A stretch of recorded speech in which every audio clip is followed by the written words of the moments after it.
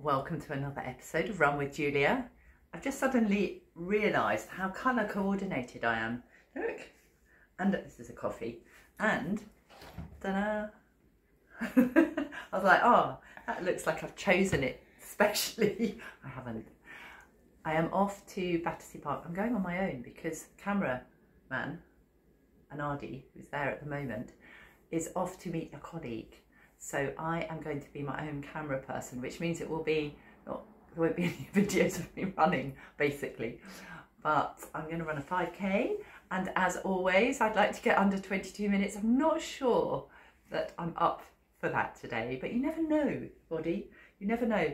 Why I say I'm not sure I'm up for it is, as I've said in other videos, lifestyle is a huge part of how we are able to run well because we have to have emotional energy as well as physical energy. We obviously have to have time to train. And I, for some reason, have had a massively busy year. I know on one level it's I've been running more events and workshops, but my one-on-one -on -one work has just been absolutely massive. Now, I also know that we can say no. I know that I can say no. However, I don't want to say no because the people, why my diary is so full is it's often people who have been clients before who come back and want to do some more work or it's clients I have who want their son to see me or their daughter or their partner.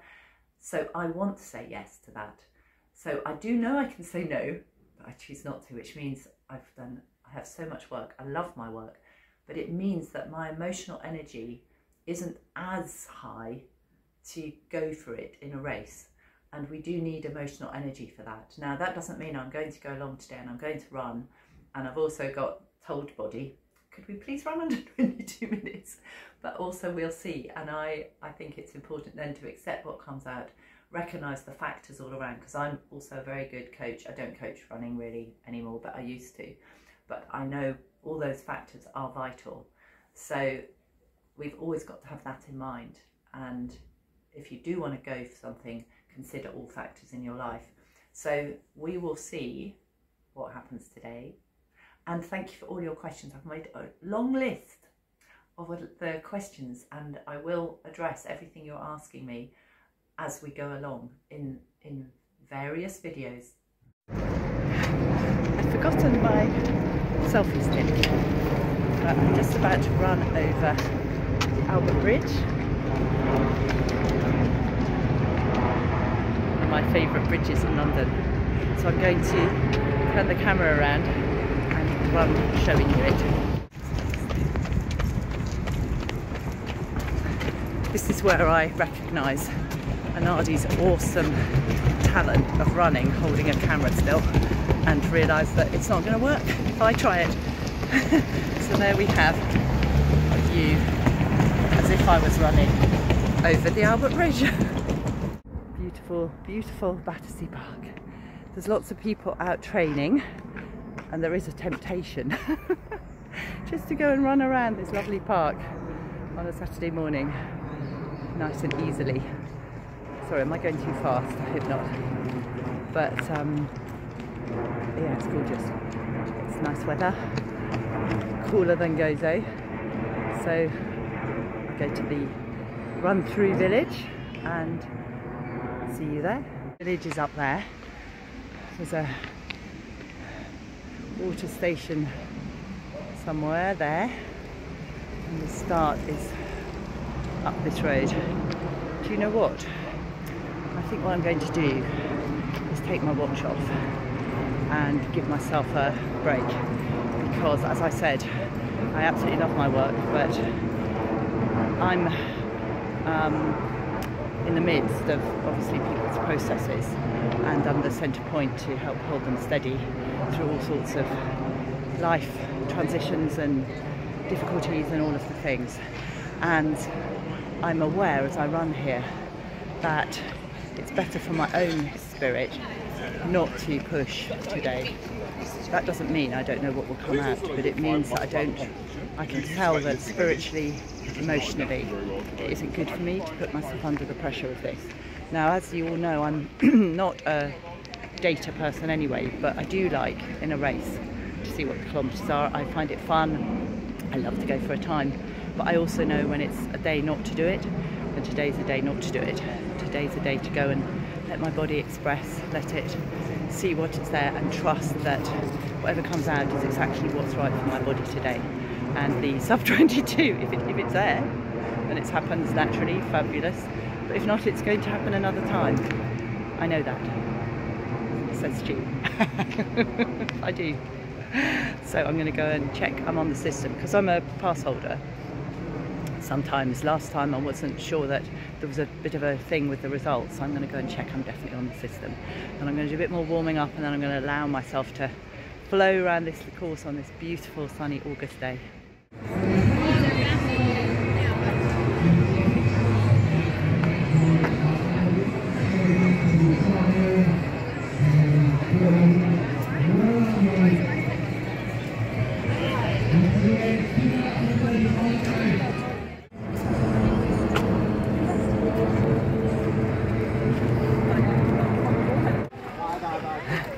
Making our way to the start. Taking off the watch. And I think that it's going to be easier to run in 17 degrees or 19 or whatever it is than 32, um, which was last Saturday in Gozo. I love a quote by, I think it's Ramana, Ramana Maharshi. I think it's him, sorry if it isn't. And he says, trust in the moment and surrender your acts to the divine. And that's essentially allows for the joy of running, just trusting the moment. And that's one of the reasons I'm still keeping on, keeping on after 50 odd years, more than, competition. Because I've learned to let go, which was a journey as a young runner, I knew it, I always knew it as a young runner, but I couldn't always do it as a young runner. But it's easier at 65. and I'm still as keen as at 25. But it's the joy, the joy of the step. On the start line, about two minutes to go. I finished. I'm very glad that I took my watch off because I felt very tired in the every step, but actually quite flowing. But it really is interesting how um, I've had plenty of sleep, and it's literally just an emotional energy thing because there's nothing, I've no complaints about the amount of food and sleep and everything I've got. But I did feel very weary and I didn't have it in me. And therefore, had I had the watch on with it telling me that I was slower, because I think I was slower, um, I'll see. I don't know my time yet, but I think that's not good for the psyche to be the body being it doing its best, spirit doing its best, everything doing its best, and then you see a slower kilometre and the mind tells you you're not good. Now, my mind's very practiced now at not doing that, but it's still not a good thing to do for the body, and the, uh, sorry, the body and the spirit, the emotions. So we'll see what I've done. I don't think I ran massively slower, but I'm sure I ran slower because I didn't have that thing. But I'm really glad I've done it. It's all good training. It's lovely, these events are amazing. Speak some more. I'll go and have a a solo breakfast because I and I've just gone to meet, meet a colleague. He's come over from America. He has colleagues all over the world in um, India, Australia, South Africa, America, um, where else? Lots of places. And this guy's come over from the States because his daughter wants to see Taylor Swift.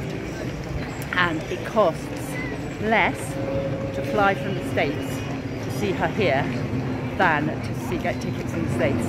So he's brought his wife and his daughter and that means he can see Anadi in real life. In a park near where I live and I've been meandering my way home and stopped in the health food store and just having a nice meander and I've just checked the results. I'm not in the results.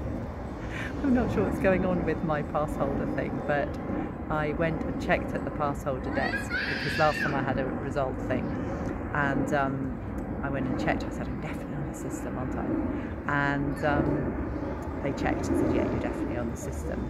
And then I've just checked the results, I'm not, so I'm obviously not in the system.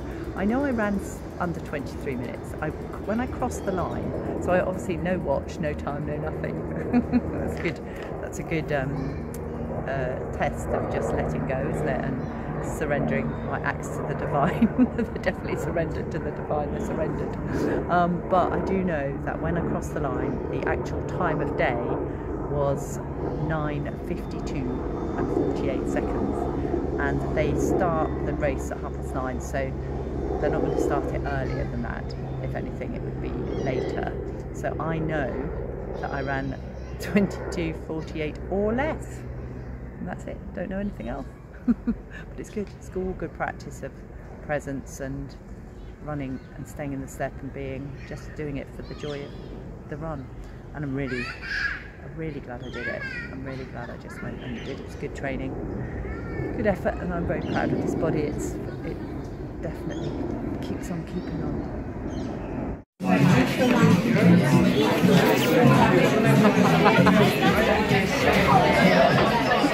was going to have a sip, but my cameraman has clearly started the cameras rolling. We're in Megan's in Clapham. And returned from his um, social business meeting. He's nodding. Um, we came on the bus. I love riding on a bus through London. And we are in this lovely place, coffee in front of me. And just to say that I still don't know my official time, but as I said, the time of day was 9.52.48 and I was a bit behind the line. So my chip, which didn't go off or whatever happened, happened. So it'll be circa 22.40 or less, which is fine, given I just wanted to let my body do what it did. And as I said, accepting what comes out always anyway. I think that's the secret, as I said, to turning up at the next race and to consistency and to resilience because then you are managing yourself and all the factors in your life and you're able to stay in the centre of it and then keep on turning up, keep on turning up. And also just to say that when I finished the run, I had this strange sensation come over me. I was like, oh, maybe, maybe I'd like to do another marathon sometime. I might be a way off. However, I have actually got a couple of half marathons coming up. One in Lisbon in October and one in November, the end of November in Benidorm because Malcolm of Running Crazy got in touch and said Running Crazy are going to be featured in a tele television series and he said it would be a good one for you to come and do. So I've entered. So I need to do a few more miles. And that said about mileage, thank you for all your questions. Thank you Andrew for asking me about running sessions and your training for your first marathon. And he asked me whether in the training plan he's aiming for around the five hour mark but in the training plan, they only take him up to 3 hours 20. And what do I think about that? Well, I do think that, I wouldn't say now if you're marathon soon, I wouldn't start doing more now. But I would say that if somebody's training for that sort of um, time, I think time on the legs is very important. So to have a couple of runs where you are going out for four to four and a half hours is a good idea, but not running running and walking and running and walking and running and walking because a lot of the marathon is the excuse me is the time on the legs and the muscles getting used to that amount of time that you're going to be journeying. So I would always say that because when I was top level and my best marathons were um, around well 236 and I ran lots under three hours. I never ran further than 20 miles, sometimes 22, although who knows, because that was guesstimate, but around 20 miles. So I would never run for longer than two and a half to three hours for my long runs, but that was the time that I was doing the race. So yeah, when I've coached people to run, I would get them out, but really emphatic, holding back on the effort, holding back on how fast you're going. Has the music got louder? I hope you can hear me. We're going to have to test to see. So that would be my sense, but but walking and running, not too hard. That is the, the most important thing. Building the volume, building, not breaking down. Always building up, not breaking down. So that's it. So thank you. Thank you for asking all the questions. I'll keep answering. And I'll keep on aiming for my faster 5Ks, but also I'm going to start doing a few more miles. And thank you for running with me. Thank you for running with Julia. And if you've liked the video, I've got Bernardi there. He always says, reminds me to say, press the thumbs up. Ask me anything you'd like me to ask you, and I'll see you next time.